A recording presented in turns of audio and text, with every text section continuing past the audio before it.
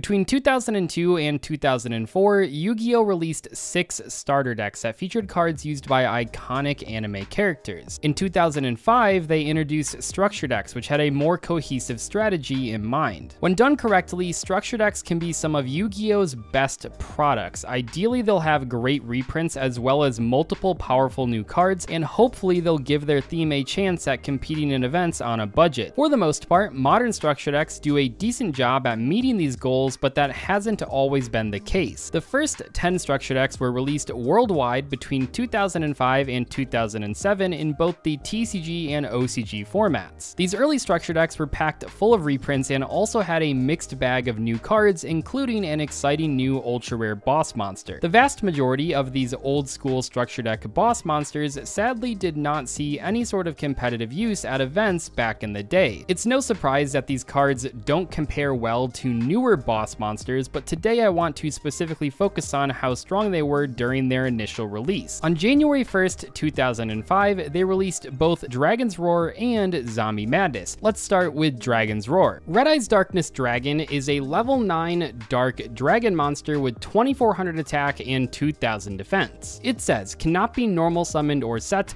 must be special summoned from your hand by tributing one Red Eyes Black Dragon, gains 300 attack for each dragon monster in your graveyard. On release, Red Eyes Black Dragon was not very competitive. There were plenty of other two tribute monsters that had way more attack, such as Blue Eyes, but there were even one tribute monsters that had more attack as well, such as Summoned Skull. Because of this, it's no surprise that they tried to boost the power of Red Eyes Black Dragon with this very first structure deck.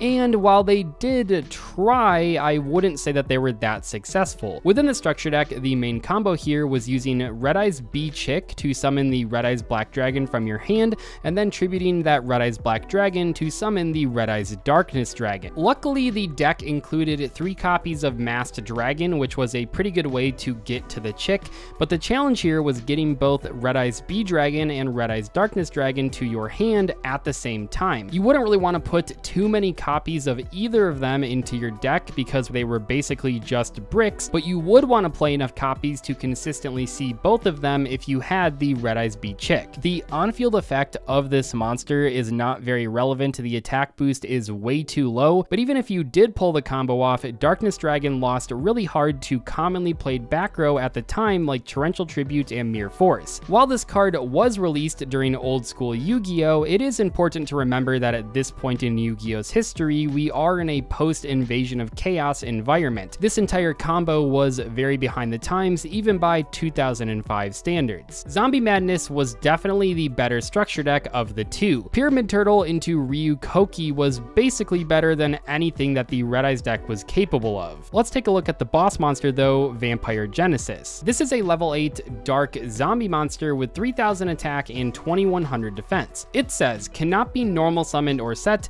must be special summoned from your hand by banishing one Vampire Lord you control, and cannot be special summoned by other ways. Once per turn, you can discard one zombie type monster to the graveyard, then target one zombie monster in your graveyard with a level less than the discarded monsters, special summon that target. When compared to Red Eyes Darkness Dragon, Vampire Genesis certainly looks better. Pyramid Turtle can special summon Vampire Lord right from your deck, so you don't have the same issue of having to draw both Vampire Genesis and Vampire Lord at the same time. Not to mention that before the release of Cyber Dragon, Vampire Lord was just a good one tribute monster that people actually played. I also think that the on-field effect of Genesis is pretty decent. Discarding a monster to revive a monster is a classic effect in Yu-Gi-Oh, but especially for zombies, so you would think that this card would be right at home in existing zombie decks. But I think the main drawback here is that you just didn't need it. It was kind of win more. At this point, they had tons of revival, including three Book of Life, so zombie decks already had a way to flood the board with monsters from the graveyard. Vampire Genesis was one of the better boss monsters released in these early structure decks, but it wasn't quite good enough to make the cut at actual tournaments. Even with that said though, the Zombie Madness structure deck was still very good, featuring a ton of powerful zombie type monsters and support. A few months later, on May 9th, we got another pair of structure decks, Blaze of Destruction and Fury from the Deep. The Blaze of Destruction boss monster was Infernal Flame Emperor, a level 9 fire pyro monster with 2700 attack and 1600 defense. Cannot be special summoned, when this card is tribute summoned, you can banish up to 5 fire monsters from your graveyard, destroy spell and traps on the field equal to the number banished to activate this effect. Most of the cards in this deck are either designed to burn the opponent like Solar Flare Dragon and Backfire, or to hit the opponent with a lot of damage from an attack like Ultimate Baseball Kid or Gaia Soul. Infernal Flame Emperor doesn't really fall into either one of these categories, and honestly there aren't too many ways to load up the graveyard with fire monsters for its effect. Pretty much the only way to quickly fill your graveyard with 5 fire monsters is by crashing a bunch of UFO turtles into your opponent's cards. I think the idea here is that you clear the back row so cards like Ultimate Baseball Kid have an easier time attacking, but even in that way, I think it kind of falls short of helping because you don't have a ton of ways to spam the board with monsters, which means it's kind of difficult to actually get to two tributes that you want to tribute. You wouldn't really want to tribute cards like Solar Flare Dragon that are locking down your opponent and doing burn damage, and you also don't want to tribute Baseball Kid or Raging Flame Sprite because those incrementally gain attack points. It almost seems like at the last minute, this card was changed from doing burn damage to destroying back row because I can picture a world where this does like 3 to 500 burn damage for each card banished, which would make it a pretty decent finisher. With its actual effect though, it seems out of place. In Fury from the Deep, we got Ocean Dragon Lord Neo Daedalus, a level 8 water sea serpent monster with 2900 attack and 1600 defense. This card cannot be normal summoned or set. This card cannot be special summoned except by tributing one Levia Dragon Daedalus. You can send one Umi you control to the graveyard to send all cards in both players' hands and on the field to the graveyard except this card. The on-field effect of this card is obviously strong. It's essentially Chaos Emperor Dragon for water monsters. The summoning condition on this card is where it falls short, and hilariously, the first edition print of this card didn't actually have that. They forgot to put it on there. You could like mail in your copy to get the regular text, but to be completely honest, I don't know why you would want a worse version of the card that you pulled. Officially, no matter what the text is, it still requires the tribute of the Levia Dragon, but on the playground, your friends might have not known about that effect. The main issue with the summoning condition is that Levia Dragon Daedalus already has almost this effect. It only destroys cards on the field, not the hand, but that's honestly fine, and if you have a Legendary Ocean on the board, which you should, that's the entire point of the deck, then it only takes one tribute because it becomes a level 6 monster. The added effect of getting rid of both players' hands wasn't worth putting a potential brick in your deck when you already had a boss monster that was almost as good. Maybe if it got rid of only your opponent's hand and not yours, then it would have been a little bit more playable, but as it stands, it's just not worth it. On October 28th, 2005, we got Warrior's Triumph. The boss monster of this deck was Gilford the Legend, a level 8 Earth Warrior monster with 2600 attack and 2000 defense. Cannot be special summoned. When this card is normal summoned, you can equip as many equipped spell cards from your graveyard as possible to a warrior type monster or monsters you control. And note here, it doesn't even have to equip cards to itself, it allows you to equip stuff to whatever warrior type monsters you have on the board. And this structure deck did have Armed Samurai Ben Kei, which is a great tool for OTK in the opponent, but even besides that, if you're equipping five cards from your graveyard to monsters you control, that is a huge plus in card advantage. There are a few problems here. There isn't a way to really get to equip spells at all besides naturally drawing them.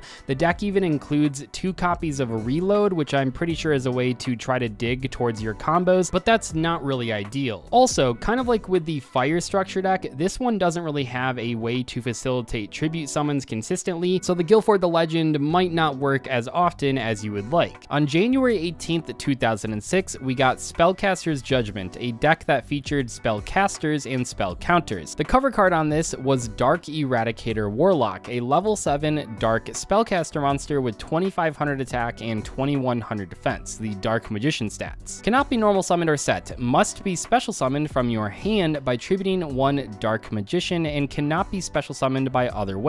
Each time a normal spell card is activated, inflict 1000 damage to your opponent immediately after it resolves. We've seen this summoning condition a few times in today's video, and this one isn't the worst of them just because this deck actually has a fair amount of good access to Dark Magician. There are two copies of both Skilled Dark Magician and Magical Dimension in this deck, which are pretty good ways to summon it. But even though it's not too difficult to summon, when it's on the board, it doesn't really do that much. 1000 damage is a lot, but it only works with normal spells and you'd have to activate 8 of them to reduce the opponent's life points to 0. And the fact that it only works with normal spells is pretty annoying. This deck has all sorts of different spells in it, not just normal spells. Early Yu-Gi-Oh! had plenty of decks that were capable of FTKing the opponent, and compared to those, Dark Eradicator Warlock just never looked that good. A few months later, on May 15th, we got Structure Deck Invincible Fortress. This was a rock deck that focused on defense mode monsters, flipping themselves face up and face down. Exxod, Master of the Guard, was the boss monster. It's a level 8 Earth rock monster with 0 attack and 4000 defense. This card cannot be normal summoned or set. This card cannot be special summoned except by tributing one Sphinx monster. Each time an Earth monster is flip summoned while this card remains face up on the field, inflict 1000 damage to your opponent. The Sphinx monsters in this deck are not great. Guardian Sphinx is probably the best one, but the other two are pretty much unplayable. All of these are one tribute monsters, which means to get out Exxod, you have to first perform a regular tribute summon and then tribute that monster to summon this big boss. But with Exxod, you want to have a board of a ton of rock monsters to flip up and face down to burn your opponent. So to get this to work, you really have to have so much card advantage that you have not only enough tribute materials, but also enough cards to actually flip.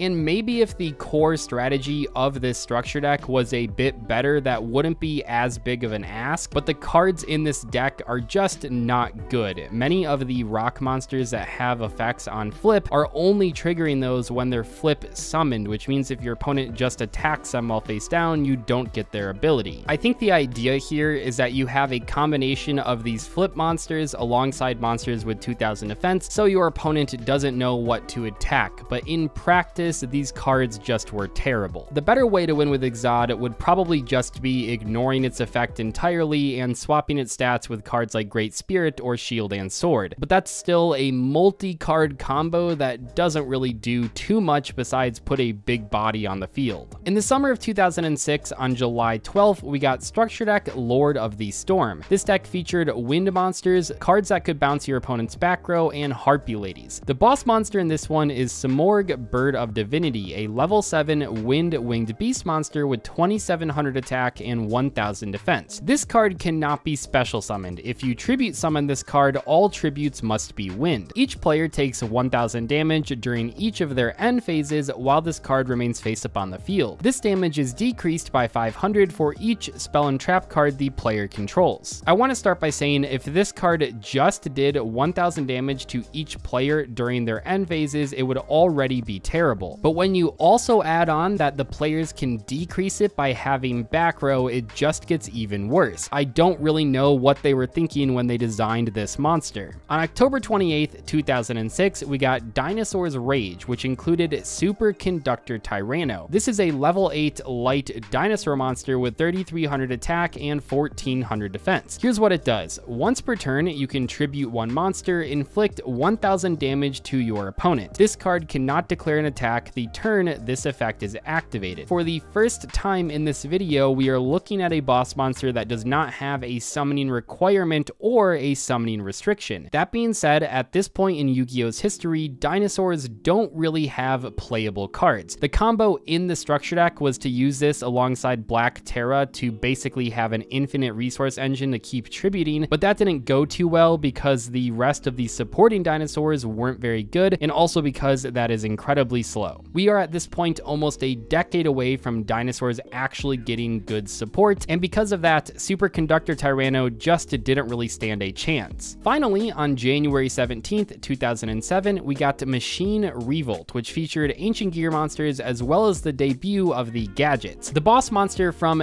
this structure deck was Ancient Gear Gadjiltron Dragon? Gadjiltron Dragon? I don't know. It's a level 8 Earth machine monster with 3000 attack and 2000 defense. It says, if this card attacks, your opponent cannot activate any spell or trap cards until the end of the damage step. This card gains the appropriate effects if you normal summon it by tributing these monsters. If you tribute Green Gadget, if this card attacks a defense position monster, inflict piercing battle damage to your opponent. If you tributed Red Gadget, if this card inflicts battle damage to your opponent, inflict 400 damage to your opponent. And if you tributed Yellow Gadget, if this card destroys an opponent's monster by battle, inflict 600 damage to your opponent. This card has the basic Ancient Gear effect on attack declaration, and then also can potentially gain bonuses. Now, in reality, the tributing of gadgets wasn't the most common way to summon this, but it is basically the only card in today's video that did see competitive play. Not necessarily next to too many other cards from this structure deck, but eventually when we got Gear Town, there were several decks that tried using that card alongside this card to close out games. They didn't really play any other Ancient Gear cards, but I thought it was worth mentioning. The gadgets from this deck saw tons of competitive use for many years after the structure released, but unfortunately, the Ancient Gear cards at this point in Yu-Gi-Oh's history didn't really have enough support to build a competitive deck around. And with that, we have covered the first wave of structure deck boss monsters, most of which were not very good. At this point, the TCG and OCG kind of went their own direction with structure decks, which is why we're stopping here, and eventually they would morph into the structure decks that we know today. It's funny because nowadays the boss monster of a structure deck is usually one of the bigger selling points of it, but back in the day they were sometimes the worst monster in the deck. Let me know in the comments if you guys owned any of these structure decks when you were a kid and if you tried to play the boss monsters. I'd love to hear how that went. For me personally, it didn't go that well. Anyway though, thank you guys so much for watching today's video. I'll catch you later. Goodbye.